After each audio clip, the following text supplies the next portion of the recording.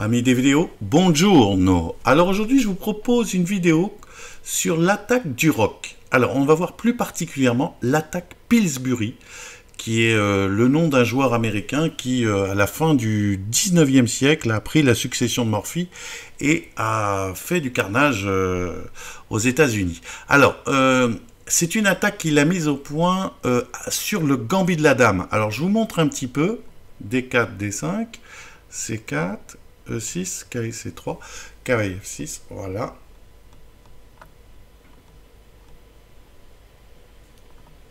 Voilà. Et cavalier E5, suivi de F4. Voilà, c'est ça ce que j'appelle, moi, euh, l'attaque Pillsbury. Euh, enfin, je l'appelle moi, euh, il n'y a pas que moi, puisque Kasparov en parle dans son livre, et il dit d'ailleurs qu'à l'époque, les, joueurs disaient qu'il en a tellement massacré que si, sur le gambit de la dame, Pillsbury arrivait à jouer cavalier 5, les noirs étaient perdus. Donc ça, c'est, je vous montrer cette partie, c'est une partie que j'ai mise incluse dans mon livre... Et, les suivantes qu'on verra suivant le temps qu'on a, qui s'appelle L'art de jouer les pièces. Alors, euh, donc on va voir un peu, euh, donc là c'est, je vous dis, un sujet c'est euh, de cette vidéo et d'autres vidéos que je, ferai sur ce sujet, c'est l'attaque sur le, le, rock, et là particulièrement on va voir ce, type d'attaque, comment une fois qu'on a cette configuration, eh ben, il faut mettre les pièces, agencer les autres pièces blanches. Alors, F4, donc on va voir un petit peu ce qui se passe. C5, bon c'est logique, hein, il réagit au centre, petit rock, C4, bon, attaque le fou, bon, ça, je sais pas. Fou C2 et A6. Voilà, donc les noirs, eux, décident, bon, euh, de, se, focaliser, à l'aile dame, hein, euh, ils, vont, ils vont balancer leur majorité euh, de pions sur l'aile dame. Hein. Bon, c'est une manière intéressante de réagir. Dame F3, voilà, ça c'est un coup clé de l'attaque Pillsbury. Il va tout simplement transférer, comme vous verrez, la dame en H3, le coup d'après. Et c'est très fort. Alors ça, c'est une manœuvre à retenir. Moi, moi je, sais que cette attaque Pillsbury m'a permis euh, euh, d'adapter ces, configurations de pièces hein, assez, dans beaucoup, beaucoup de parties. Euh, voilà. Quand il n'y a pas de fou en C8, c'est bien, généralement, quand vous voulez attaquer et que vous avez un fou ici, de transférer votre dame en H3. Vous voyez que là, déjà, le cavalier F6, bon, il est un petit peu au chaud. Alors G6, hein. alors euh, pour montrer un petit peu la, force, euh, euh, ben, là, on menace déjà qu'elle prend des 7. Hein.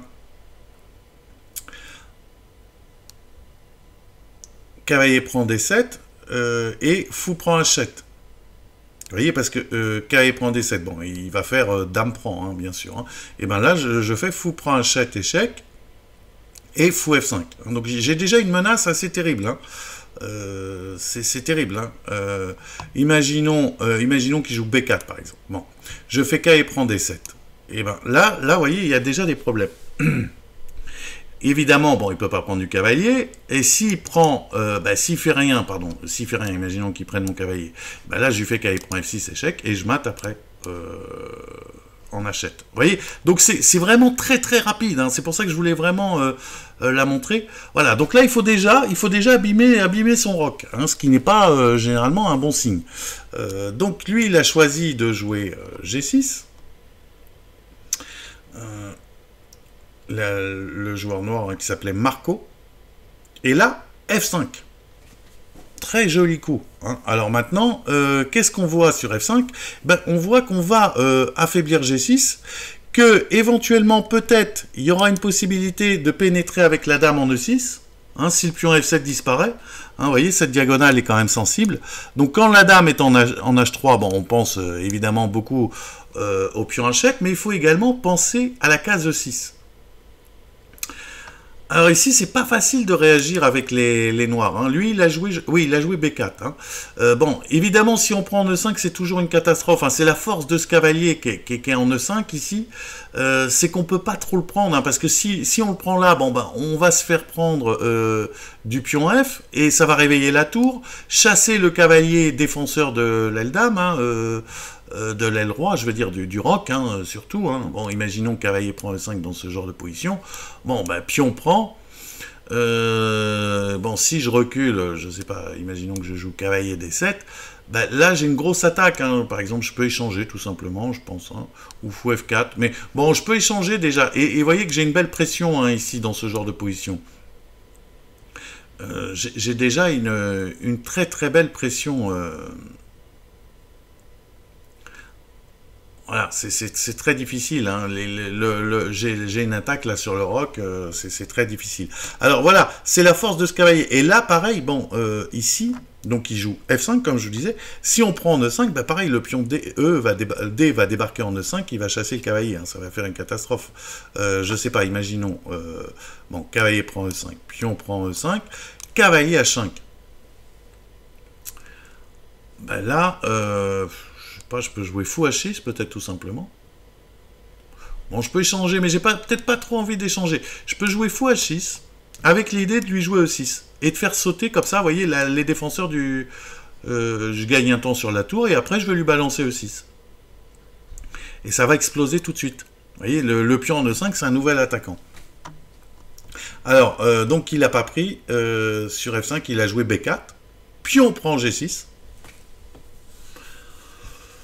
Alors, euh, il n'a pas pris en C3, hein, il a tout simplement repris du pion H. Euh, qu'est-ce qui serait passé s'il avait pris en C3 bah, Je vous laisse euh, chercher un petit peu, c'est pas très compliqué. ça mate assez vite. Hein. Donc c'est au blanc de jouer. Mettez sur pause. Bah, tout simplement, tour prend F6. Hein. Tour prend F6. Et bon, menace dame prend un mat. Donc F6 et fou.f6. Hein, bon, euh, bah, je vous montre un tour prend F6. Bon, hop, fou F6. Et puis là, euh, bah là, voilà. Et là, on va voir hein, ce dame 6 que, dont je vous parlais. Bon, là, je menace euh, en H7. Évidemment, le prise du pion H n'est pas possible à cause du mat en H8. Donc, je vais prendre comme ça. Et puis, je vais me faire déborder de l'autre côté euh, par dame 6. Hein. Donc, F prend G6, dame 6 échec. Euh, tour F7, dame prend F7, échec et mat. Hein. Voilà, là, il n'y a pas de solution. Hein, C'est fini. donc... F5, B4, pion prend G6, bon, impossible euh, de prendre euh, le cavalier en C3, comme je vous le disais. Euh, donc je prends, il a pris du pion H, hein, et, et, là, Dame H4, très joli coup. maintenant, ben voilà, il y, a une menace ici, hein, parce que maintenant j'attaque le, j'attaque, euh, enfin j'attaque euh, pas directement, mais disons que je mets une pression sur le fou en E7, hein, avec, euh, avec cette batterie ici, donc je menace cavalier prend D7, et cavalier prend n'est pas possible à cause de fou prend E7, et évidemment, bon, les autres coups, j'enlève un défenseur de la case F6. Donc là c'est très très difficile, il prend ici, cavalier prend D7, et Bon, là, là euh, bon, je menace K prend F6 échec, fou prend, fou prend F6 attaque la dame et menace dame H8 mat. Euh, donc, qu'est-ce qu'il fait? Il fait dame prend D7. Et là, euh, bah, j'ai un joli coup. Bah, mettez sur pause, cherchez-le. tour prend F6. voilà. Et ben voilà, il Alors bon, qu'est-ce qu'il a joué? Il a joué bah, je sais pas, s'il n'a pas pris en B2, hein, parce que bon, de toute façon, je jouerai tour F1. Hein, euh, il, a pris en, il a joué à 5, tour F1, bon, quand même, et tour A6. Alors, sur la tour F1, il y avait un gain intéressant, à la place de tour à F1, il y avait fou prend G6, qui gagne. Essayez de le calculer, hein, c'est pas facile. Donc, euh, euh, mettez sur pause et essayez de calculer fou prend G6. Hein avec les blancs. Donc, euh, mettez sur pause. Alors, fou prend G6, pion prend G6, dame prend G6, échec. Euh, non, pardon. Fou prend G6, pion prend G6, tour prend G6, échec. Roi F7 forcé. Et tour F1, échec. Et roi E8, tour prend F8, fou prend F8 forcé, et dame H5. C'est assez dur. Hein. Alors je vous montre. Euh, et, dame h5. Hein. Euh, je vous montre. Hein. Euh, donc fou prend G6. Pion prend G6. Tour prend G6. Roi là. Tour F1. Bon, évidemment, je ne peux pas prendre la tour. Il y a dame h6 échec et mat. Donc, roi E8. Tour prend F8. évidemment, si roi prend, ça va gagner assez vite. Hein. Je fais dame... Dame F2 par exemple. Hein. Oui, Dame F2 c'est mat tout de suite. Hein. Dame F2. Et puis c'est mat assez vite. Parce que bon là il va... Il, peut pas jouer roi 8. Euh, donc il joue par exemple bon, ça, ça. Et puis voilà, là c'est fini. Dame F7. et dame à Voilà, ça c'est joli. Bon, il n'a pas joué euh, fou prend G6. Hein. Bon, ce qui est un, peu dur à calculer, hein, il faut reconnaître. Donc sur A5, il a joué tout simplement tour A1, tour A, F1, et il a joué tour A6. C'était l'idée de ce A5. Hein. A5, c'est un petit coup malin de défense, quand même, de penser à ramener. Euh, à ramener la tour A8 en défense, mais euh, bah, ça va pas être suffisant, parce que maintenant il fait fou prend G6. Fou prend G6 avec l'idée de prendre en F8, hein, bien sûr. Hein. Euh, et il va prendre en F8 deux fois. Euh, donc, euh, pion prend... Alors, essayez de le calculer maintenant, hein, parce que... donc, il va faire fou prend G6, pion prend G6, tour prend F8, fou prend F8, tour prend F8, échec, roi prend F8, et dame H8, échec. Roi F7, dame H7, échec, roi E8 et dame G8.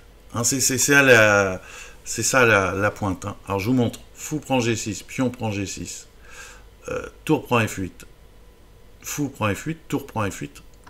Donc roi prend F8, dame H8, échec. Bon, euh, bah, je n'ai pas le choix. Roi H7, dame H7, échec. Bon, ici, évidemment, euh, je ne peux pas aller en F8, je perds la dame. Si je vais en E6, en E6 je me fais ma terre en G6. Donc, je viens en E8 et Dame G8. Euh, enfin, je viens en E8, euh, j'en sais rien, mais bon, mat. Euh, donc voilà, il n'y a, a, pas de, a, a pas de solution. Voilà, donc un plan très très intéressant que cette, cette attaque Pillsbury, hein, qui fait, vous voyez, elle commence là. Donc il, commence, vous voyez, là il commence, il fait C prend D5. Pourquoi? Pour stabiliser le centre. Généralement, c'est très important quand vous menez comme ça une action à l'aile, il faut stabiliser le centre pour éviter que l'adversaire ouvre des lignes au centre. Alors, paf, prise en D5, tac, et évidemment, s'il avait pris autrement, on aurait réagi différemment. Et là, maintenant, cavalier E5, cavalier D7 et le fameux F4, suivi de euh, cette petite manœuvre classique euh, de la dame, ici, en F3, qui passe en H3.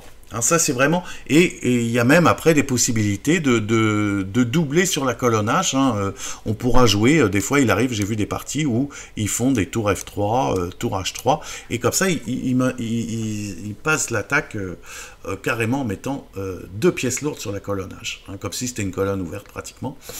donc ça, c'est très, très intéressant. Et voilà, donc là, on a vu qu'il y avait une menace directe, à base de K et prend des 7 à retenir, donc ce, ce mat en achète. Voilà. F5, et après, euh, ben après c'est de, l'attaque un peu euh, dite classique du calcul. Vous voyez, c'est pas facile, c'est un petit peu compliqué, mais euh, voilà, on y arrive. Vous voyez, il y, a des, il y a des thèmes tactiques extraordinaires. Et ce sacrifice de destruction ici qui nous permet comme ça d'attaquer avec la dame et le fou. Voilà. Alors, euh, on va voir un autre exemple. Alors ça, c'est donc ça a été joué en 1900. Et euh, cette attaque Pillsbury est très très utile parce qu'on peut l'utiliser dans plein de cas de figure, généralement quand on a un cavalier en E5, hein. euh, puisque c'est quand même là. Alors, je vais vous montrer un autre, exemple beaucoup plus récent, puisqu'il date de 2001. C'est une partie euh, où, euh, les, joueurs blancs, c'est Alexis Chirov, qui était un très très grand joueur d'attaque dans les années 90. Il a été dans les meilleurs joueurs du monde, hein, il est monté dans le top 5, et euh, il faisait des parties d'attaque fabuleuses. Bon, il a un peu disparu dans les années 2000, et il était opposé à Piquet, qui était aussi un bon joueur. Alors là, il a les blancs. Et bon, c'était, je crois, une, comment dirais-je, une Petrov, hein, l'ouverture, hein, je crois crois que c'était une Petrov si je me souviens bien. Euh, et, euh, et voilà, il va commencer une sorte d'attaque Pillsbury, il joue cavalier au 5. Avec l'idée de poursuivre par F4. vous allez me dire, c'est pas du tout la même chose. Mais vous allez voir qu'on va retrouver les thèmes. Euh, alors, là, c'est au blanc, au noir de jouer, pardon. Hein. je viens donc de jouer cavalier 5, hein, qui est supporté, bon, évidemment, qui est pas trop prenable, hein, à cause de ce clouage, notamment. Alors, les noirs en profitent, bon, ils échangent leur mauvais fou contre le fou d'attaque, pour en plus, bon, ils évitent ainsi qu'il y ait euh, un affaiblissement du roc. Tac, tac. Et là, il joue Dame C6, Dame C8. Hein. C'est pas facile de... Bah, avec ce clouage, on peut pas trop bouger. Donc il joue Dame C8 et boum, F4. Voilà. Alors là, vous allez me dire, oui, bon, il n'y a plus le fou blanc, mais il reste quand même une initiative. Euh, alors là, il a très bien défendu, les noirs ont très bien défendu. C'est pour ça aussi que j'ai mis cette partie, parce que il y a une très jolie coup de défense là que j'adore. Il joue fou à 5. Alors ça, c'est très joli. Quelle est l'idée de fou à 5 C'est de prendre la case en, en E4 ici. Donc très joli coup de défense. Fou à 5. Et là, Dame G3. Ça, c'est très important. Alors, quelle est l'idée de, de Parce que ça a l'air un petit peu antinomique. Hein. Je viens de vous dire que euh, il veut venir en E4 avec son cavalier. Il veut faire fou prend C3 et puis installer un super cavalier en E4. Et puis euh, là, il se met à distance de cavalier, il se met en G3. Ben, il a une idée derrière la tête, évidemment. Hein. C'est le sacrifice de qualité. Euh, alors, l'adversaire a joué roi H8. Hein. Il, a, il avait venir le coup. Hein. Mais en cas de fou prend C3, pion prend C3, cavalier E4, j'avais tour prend E4 avec une grosse attaque. Hein. Je vous montre. Euh, imaginons, hein, fou prend C3, fou prend C3, cavalier E4, et ben je fais tour prend E4. Admettons D prend E4, et fou H6. Et là, j'obtiens aussi, alors sur G6, bon, il n'y a pas d'autre cours, hein, il faut que je, que j'évite le match, je suis obligé de rendre donc la qualité qu'on vient de me prêter, et ben euh, après, je vais obtenir de l'attaque avec F5 comme ça. Euh, avec sur le rock hein, toujours. Hein. Euh, bon, c'est pas c'est pas énorme énorme. Hein. Bon, admettons, je sais pas, admettons, non, dame prend n'est pas possible. Il y a le cavalier qui qui traîne. Alors admettons roi prend ou cavalier prend. Admettons cavalier prend. Et eh ben j'ai ce F5 qui est embêtant. F5 est très très embêtant. Euh, alors vous allez me dire, oui, ben bon, la dame peut prendre, oui, mais euh, vous voyez que là, il y a la tour qui, va venir en F1 et il y a le pion F7 qui traîne. Et là, vous voyez, j'ai initiative. Hein. Alors imaginons, bon, je sais pas, si je jouais F6, ben là, ça serait un peu... Bon, euh, je joue cavalier G4.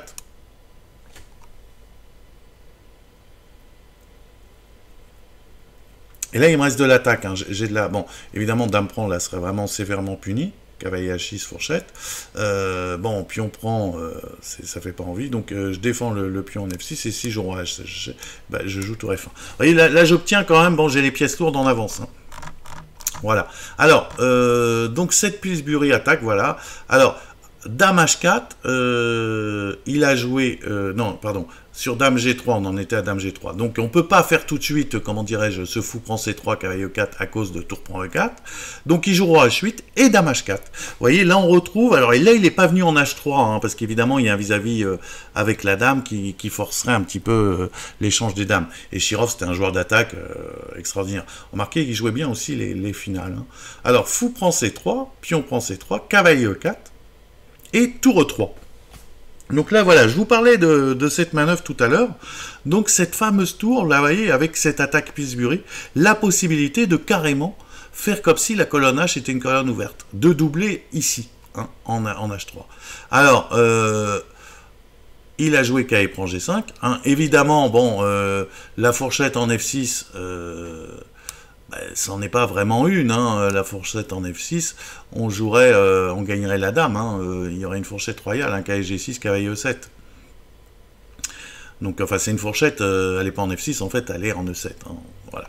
Alors, donc c'est pas trop possible, alors K prend G5, c'est pas trop quoi faire, parce qu'ici, ici, dès qu'il va y avoir DH6, il va se prendre fou prend H6. Donc c'est pas simple, je menace tour, tour H3, et puis des fou prend H6 dès que tu joues. Alors, alors, je sais pas, imaginons qu'il joue B6 ici. Bon, je joue tour H3, euh, cavalier F6. Là, il peut, hein, encore. Euh. et là, ben, je peux peut-être essayer ici G4, euh, G5. ça va pas être simple à parer, hein, G4, G5. donc imaginons, hein, joue G4, et puis bon, s'il ignore, pourquoi pas prendre en,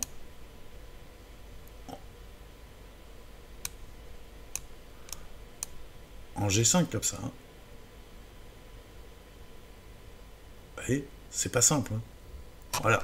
Donc, euh, donc c'est pour ça que là, cette attaque est très forte. Donc, il est obligé de séparer, hélas, de son, super euh, cavalier. oui, son super cavalier, qu'est-ce que je raconte? En, E4. Euh, il a pris de la dame. Alors, il n'a pas voulu prendre du pion parce qu'il avait peur de Cavalier prend E5, je crois. Ça simplifiait trop. Euh, cavalier prend E5. Et euh, si tour prend E5, Dame D7. Et peut, voilà, peut-être là, voilà, la colonne, ici, il n'y a plus trop d'attaque. Hein. Et si par exemple, bon, euh, je fais pion prend, hein, en me disant, ben voilà, je, vais, je vais essayer. Ben, il n'y a pas. Ah, ça, c'est important il y a la dame qui vient défendre, vous voyez Il n'y a pas d'attaque énorme, hein, ici. Voilà. Donc lui, qu'est-ce qu'il a fait? Donc je vous dis, il a fait dame prend. Alors bon, vous allez me dire, il y a encore cette fourchette là.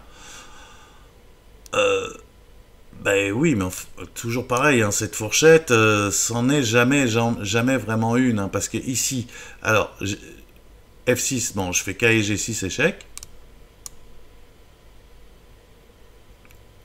Bon, en cas de roi H8, j'aurai le temps de faire E7 et puis de dégager ma dame, hein, et d'obtenir toujours un peu d'attaque quand même sur la colonnage, parce qu'il ne faut pas oublier que j'attaquerai la dame au passage, donc je vais avoir des menaces de mat.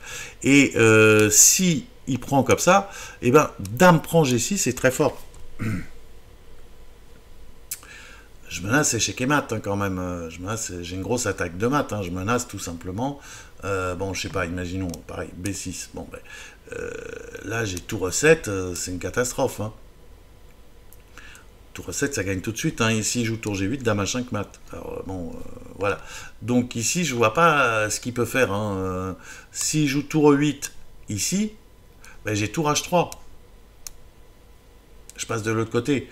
Tour H3, roi là, et tour H7.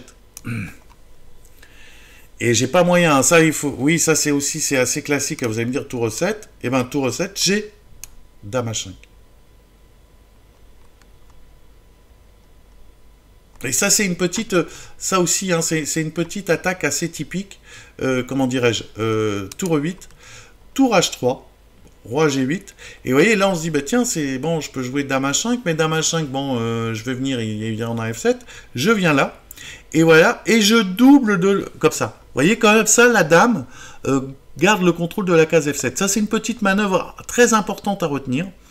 Euh, ce petit euh, tour H3, roi G8, tour H7, et, de la dame H5. Vous voyez, très important. Alors, ben voilà, bah écoutez, alors donc là, ça continue. il a réussi à défendre, et là, je vais pas. Euh, après, ça, se complique un petit peu. Il a fini, il a sacrifié une pièce. Euh, voilà, il a sacrifié une pièce pour avoir de l'attaque et il a fini par gagner. Euh, euh, ça a été un petit peu compliqué, mais l'autre s'est très très bien défendu. Donc c'était surtout pour vous montrer un peu encore cette attaque, cette fameuse attaque Pillsbury. Alors on va avoir un dernier exemple. Là, cette fois-ci, c'est un exemple de Botvinnik. Euh, le champion du monde euh, des années 50, euh, Bodvenik, là qui a les blancs.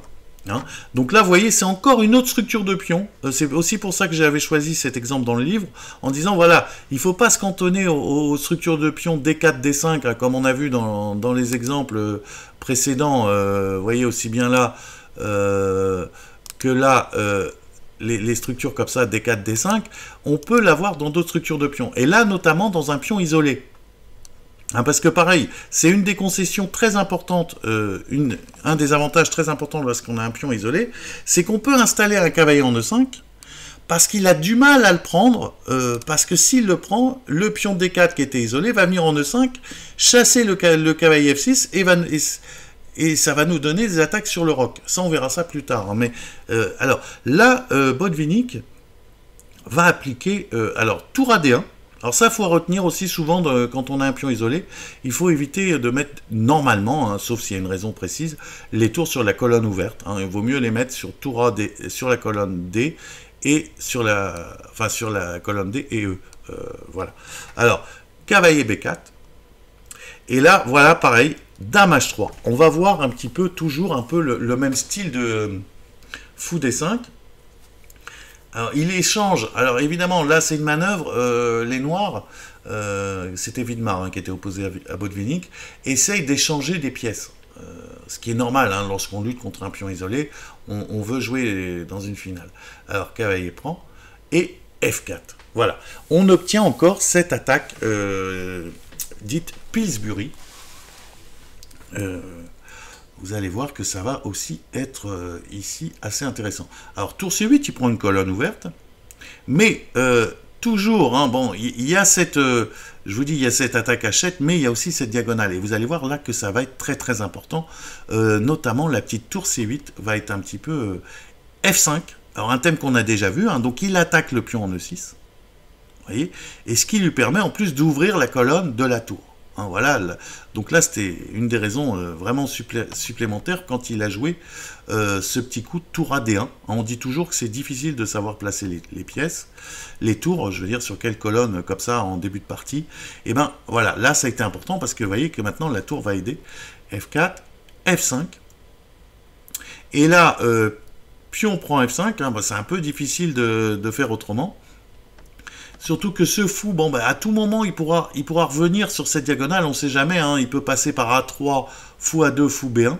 Ça arrive très souvent dans, ces structures, dans ces, dans ces positions-là. F5, il prend, tour prend F5, et là, il joue Dame D6. Et là, c'est une erreur un petit peu euh, fatale, puisque là, il y a eu une... Bon, c'est une, combinaison qui est assez célèbre, que, vous trouverez souvent dans, dans beaucoup de livres, c'est cavalier prend F7 là, Botvinnik a joué cavalier prend F7. Alors, je vous laisse le temps, hein, mettez sur pause, essayez de voir euh, qu'est-ce qu'a calculé euh, euh, sur cavalier prend F7.